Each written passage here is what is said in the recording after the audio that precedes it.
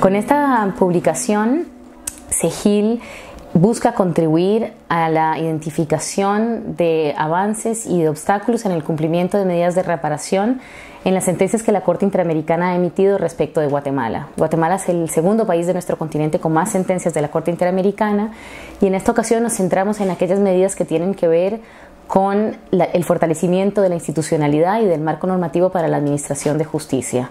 entendiendo que aquello que avancemos para cumplir con las reparaciones que tienen que ver con graves violaciones de derechos humanos en todos estos casos,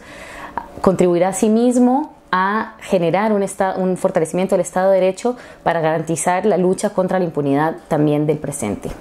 Bueno, la importancia de este libro es la sistematización de esas sentencias que la Corte Interamericana de Derechos Humanos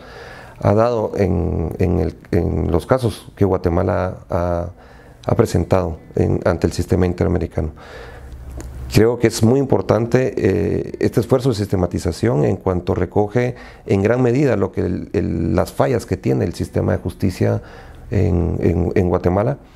y que eh, no solo es el tema de eh, dejar en claro los, fallos que se tienen, sino que de cómo se puede ir superando las dificultades que enfrenta el sistema.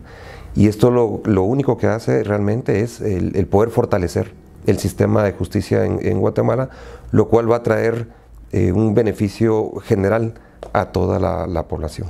Este libro es una valiosa contribución que hace Segil para la difusión y el conocimiento de las reparaciones ordenadas por la Corte Interamericana de Derechos Humanos en casos guatemaltecos de violación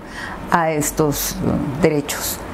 Yo esperaría que contribuya decisivamente al mejoramiento de la voluntad de las instituciones para su debido cumplimiento.